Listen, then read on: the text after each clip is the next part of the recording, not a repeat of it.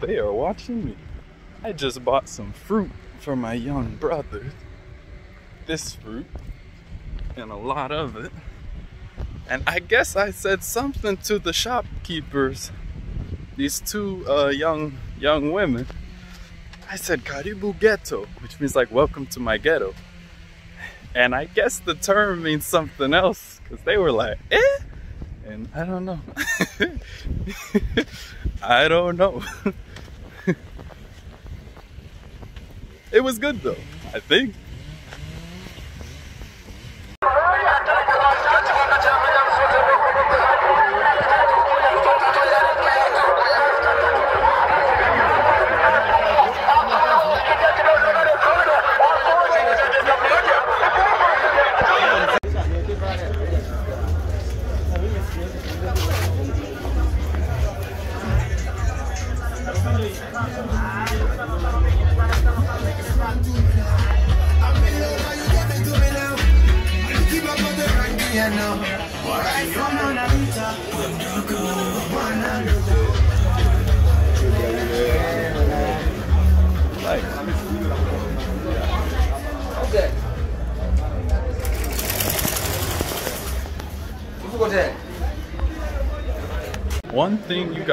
Gotta realize when coming here, or actually not when coming here, I'll tell you a story. So right now I'm out and about buying some things.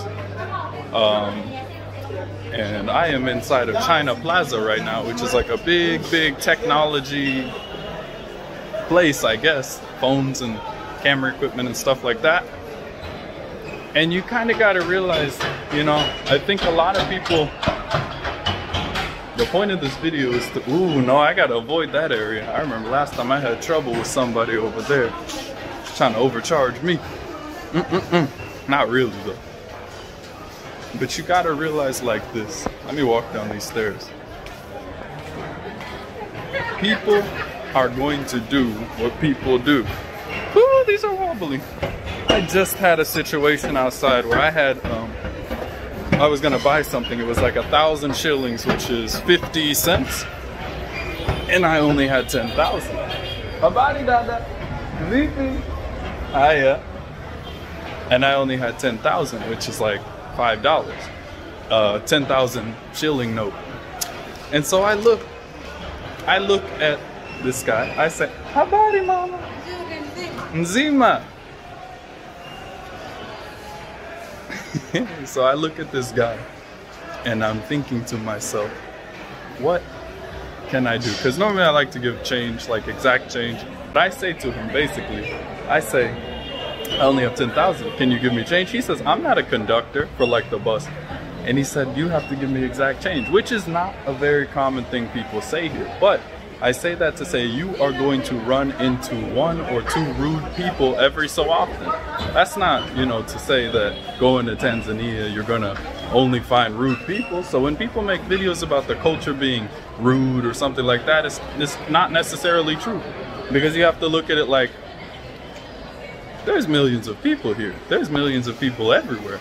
So some of them are bound to be rude. Overall, you're not going to run into that situation very often. If you run into it once, do not associate the entire culture with that one bad person. Because generalization is the problem we have, and it's a it's a form of judgment. So we can't do that. Another thing you got to get used to Ooh, let me let me watch where I'm going. I'm sorry if the lighting's not so great. It's getting dark. But another thing you got to get used to if you are here. Or no, no, no, no. Another thing we diaspora need to stop doing when we come here. And this is something I'm noticing is that when when I'm with diaspora and maybe we go somewhere and we're at a market and me, I know the prices for the most part, but I'm with a diaspora, maybe they don't know the prices. And this has happened so many times. They may say something like, you know, when they see that the price they were paying was too much and they thought they were getting a discount, it's almost like an embarrassing thing, understandably so. But they may say something along the lines of, oh, it's okay, you know, it's okay if they charge. Whoa, hold on, why is the lighting so bad? They might say it's okay if they charge them more, they don't care, you know, they can afford it, whatever. But you know, you hear and and and this is just obvious. They do care. And the reason they care is because they're being overcharged. They're being picked out and overcharged. Not so much because they're from the West or because they speak English, but more so because they look like they can pay more. You know, that happens to Tanzanians too. And to say that, you know, the whole culture is bad because some people are opportunists is like saying the world is bad because the world is full of opportunists. So, I mean, if you don't want to be overcharged when you come here, do your research. Find somebody you trust, find out the price for everything you want to buy before you buy it, and then buy it. And you won't have to, you know, cry or um, worry about the price. And this way you'll have peace with your brothers and sisters.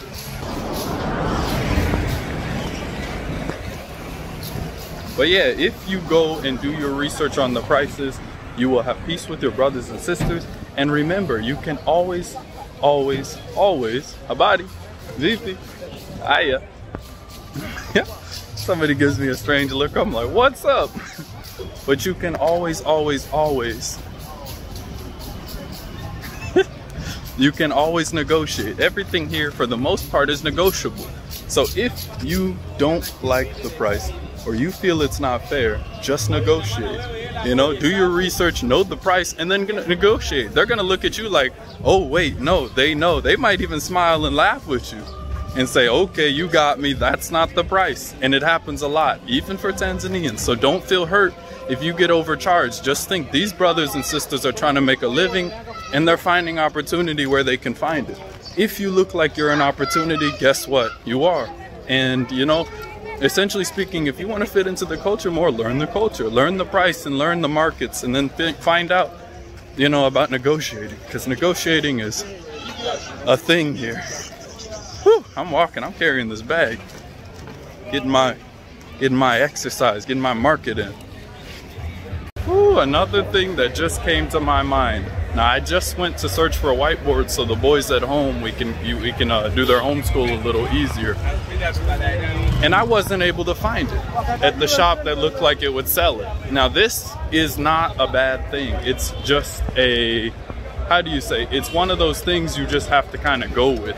If you come to Tanzania, be prepared to search for what you're looking for unless you plan on going to only westernized markets. Then you'll find what you're looking for with great ease if you want to find and have the real Tanzanian experience, the real African experience, there is nothing easy about being African. And you have to get out there and work. You have to get out there and search. You got to get to the streets, they say, get to stepping. And when you get to stepping, you know, really, really get out there. I hope I'm using that term correctly. But yeah, sometimes you got to go to these noisy, loud markets and appreciate the beauty of them because these are your brothers and sisters making a living, walking around. In fact, let me show you.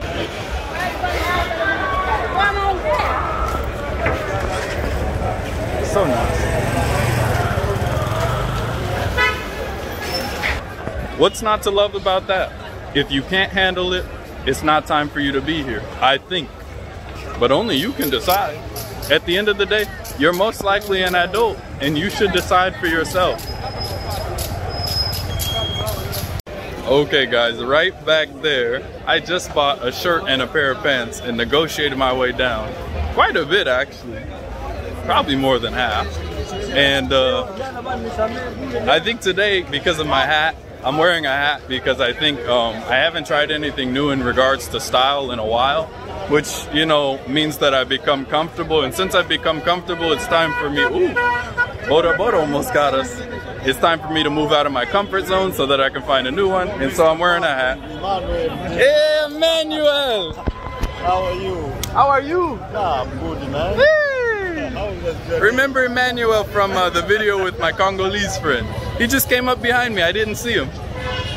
My day was good. How are you? I give you high, man. Hey, Nipetan. I'm still in my office. Yeah. Yes, man. I come nakuja siku singa siju. I don't have your phone number. You don't have? Yes. You get from um here, let me give you my number. Let me give him my number really quick because I thought he had it. He didn't. They're cheering about something.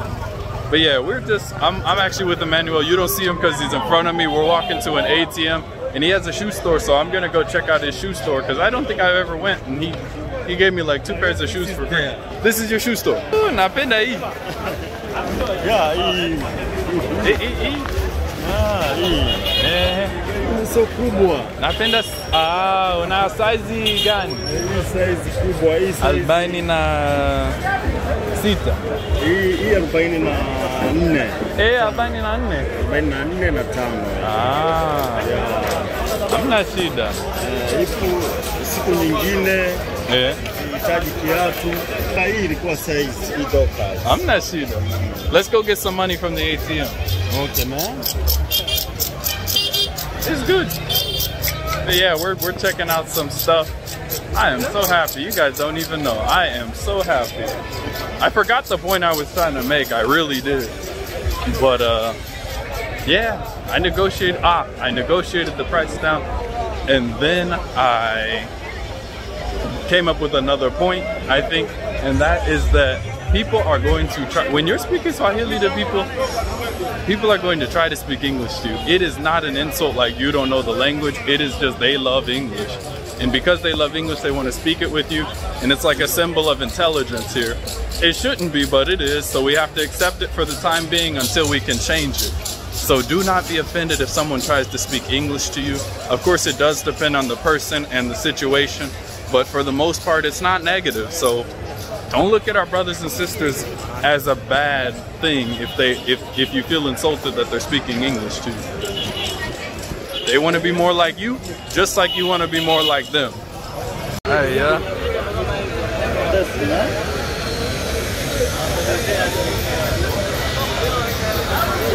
Nzuri, Yeah, ipo good. napenda. Yes. Haya, naomba shingapi? Shi, eh, eh, shi, shingapi? Yeah. Hii labda 30. 30. Yeah. Mm, ishirini. ishirini. Okay, mimi hii iko tayari hata Hii na hii. I'm gonna give him extra. Ooh, okay, so we bought the white shoes. He wanted twenty thousand for them, which is like ten dollars less than. Oh no, he wanted thirty thousand, which is like twelve dollars, a bit less than twelve dollars, or a bit over twelve dollars, I think. And that's not the price for these shoes. They were realistically worth like fifteen, maybe even ten thousand. But because he's my friend and because he straight up told me his business is not doing so well, and you know what? I mean, I definitely understand what he means. He is a friend. I can give him a little extra. So I did. I gave him 30,000 and I'm happy. He says he's super happy. And later I can come and we can talk about how to make his business more successful. But that comes to the next point. Sometimes people here are not doing so well themselves. And so they may charge you more. That could be a reason someone's charging you more. It might even be like you see somebody every day. Wow, what is that? That looks like a very good herb. It looks like, um, or no, it may be that you see somebody every day and buy something, and then one day they may raise the price on you. Well, in their mind or in their uh, life right now, they may have some bills that suddenly came up. Asante sana. Yeah, I like this, my friend Rasta. Yeah, I'm Tanzania. This Rasta, I'm Komoro. I don't know love him. you, manager. Yeah, bless it. I, I don't know him, but he came up happy, so I'm not angry. I don't like the language, but at the end of the day, it's a culture thing. But uh, yeah, sometimes people they're not doing so well themselves, and so they may have an attitude when selling you something, or they may have an attitude when when you don't want to pay the price that you know isn't right. So uh, it's about patience. They're still our brothers and sisters. We're still their brothers and sisters. If they've got to deal with our crazy selves, we got to deal with them when they act up. So uh, yeah, brotherhood, sisterhood, family, community. That's all it is. Actually, that just made me think of the another point. People here sometimes. Oh, hold on! I'm walking past the bank. You can't film in front of banks, so let me switch my camera to the street. Okay, we're good. But people here will try to mimic the black Amer what they consider the black American culture, which is that uh, well, I go, I don't know, rap culture, hood culture, and they will say the most interesting things to try to make that seem like that's who they are. And it is something they see on TV a lot. It's something they hear in music a lot, and it is something admirable for them, right? I hope I said that right. It's something that a lot of people here strive to be. And I have to break down anytime I see it when I have the the opportunity to. You know, if it's a really if it's somebody I know, I tell them, you know, that's not black America, that's some, and that's not even the most positive part of our culture. And so you will have those people who swear by Bloods or Crips. You will. And you're gonna look at them and you might look at them like crazy, but you may not know that, well, no. Obviously, you know they're not really doing that stuff. They just hear it in music and they copy it. Again, we have to understand because uh, it can get frustrating sometimes, you know, hearing everybody calling each other what we would consider derogatory terms without knowing what it is. I had a situation where a mama, actually from my old neighborhood, when I first met her, she said, Black American. So the first time I met her, you know, we were talking about culture and things like that. And the second time I met her, and keep in mind, she doesn't speak English. The second time I met her, uh, her two sons, maybe like eight and nine years old, she calls them. She says, your brother Mark is here, your brother Mark is here. And I'm like, oh my gosh, that's great. And she said, in, in plain English, as best as she could, come here my two niggas, essentially. And I said, hey? I said, why are you calling them that? And she said she thought it meant successful black American. I said, who told you that? She said, the music industry. So obviously there's a disconnect as to what is reality and what is what people, uh, and what people believe. And because of that, we have to be patient and teach each other because there's things about the Tanzanian culture we get wrong all the time. Again, it's about connecting. That looks like a very nice, oh, that's a church, never mind. Thought that was a restaurant. Okay.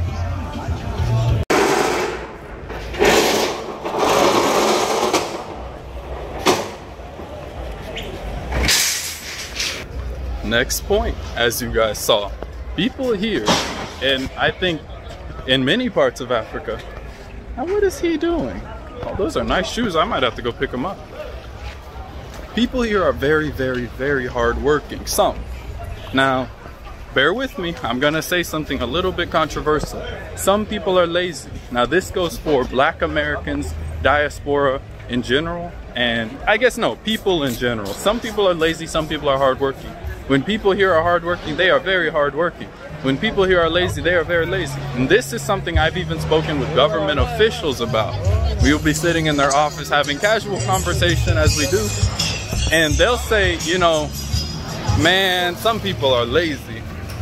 Like, um, I, I, I remember I had a situation where I was uh, trying to hire people for the little factory we opened, the little business we have.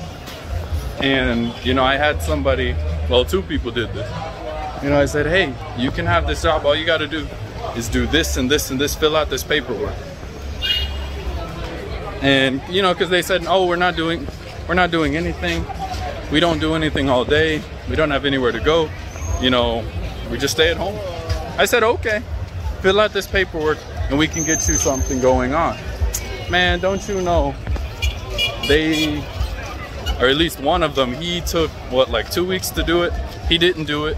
He ended, I ended up having to come to him essentially and say, hey, this is not you know, are you serious about this? And he was like, no, I, I, I, need, I need, I want. But he didn't actually want, you know, and it was just like, what are you doing? Are you busy? You told me you weren't busy. And this is something you see sometimes. Again, you can see this anywhere. I'm not saying it's only Tanzania, obviously, but it is something that you might run into and you might look at it like, why is this person being lazy?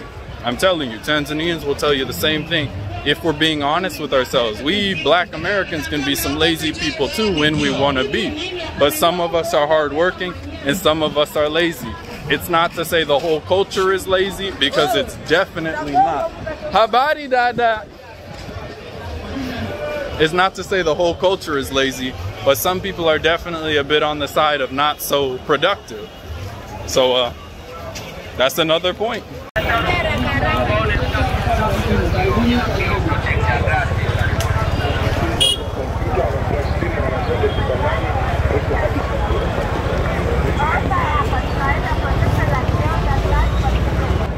That is a homemade scoop.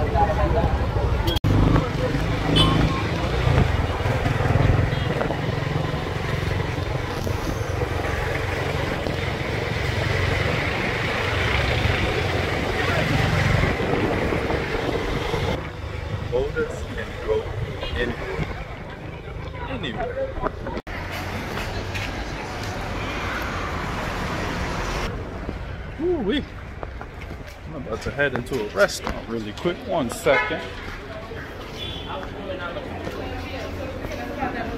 Habari. Oh, Habibi. Be friendly, speak to people, and that leads me to the next point. Oh, it's empty, just the way I like it. If you are not in a good mood, if you are not feeling good, do not go outside of your hotel room or house or apartment. Don't go out. Because the way the culture works here, you got to be in a good mood to talk to people, and you should be in a good mood before talking to people. That way, you don't rub and create friction with your brothers and sisters, all because of some stress that has nothing to do with them. So, if you are not happy, don't go out that day. Solve whatever problem you need to solve, and then go out for your brothers and sisters' sake. Because again, we don't want tension, we don't want friction, and we want to cohere. We want our we want to get along. So I am at a uh, place. I don't normally eat at places like this, like what they would consider nice places. But today I am doing that because today I am in an extremely good mood. And yeah, that's it. You know, taking a day to just relax, and I'm doing that. You know, it's been a it's been a while. It's been maybe a month or so since I took a day to relax. So. Uh, I'm happy. And right now I am, let me go get a waitress. Also another thing, sometimes when you go to restaurants here, even nice ones, well, medium nice ones. There's nice, nice, like very westernized, what we would call nice. And then there's the less nice, but still very nice, cultural places. you gotta love it. There we go.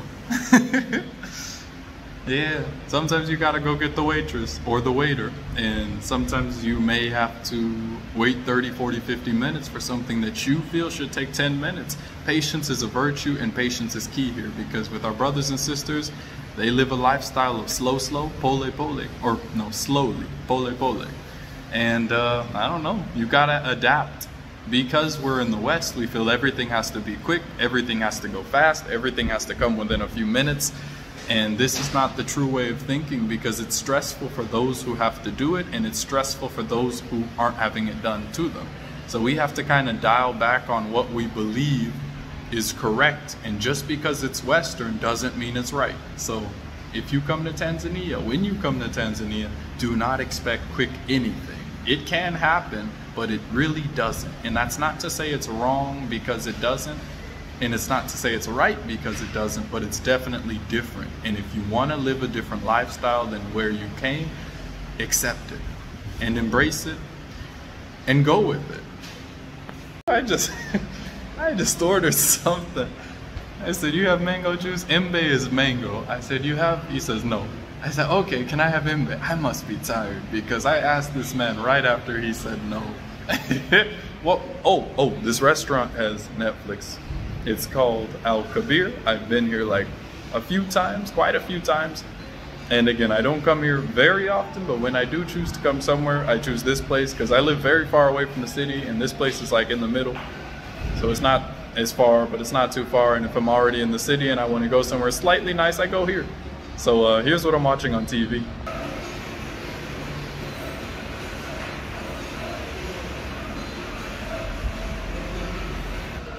Culture. I like. Yeah, if you guys can't tell, I'm super, super happy. And I don't even know why. Nothing in particular happened today that would, you know, uh, no, this is life. Life is good. I'm happy. And I order from this menu. Normally I cook or I uh, um, have some food with the boys, but I left them a special treat, told them to be good, and said, I'm coming right back. And now it's nighttime, so we'll be, I'll be excited to see what they've done since I've been gone. Yeah.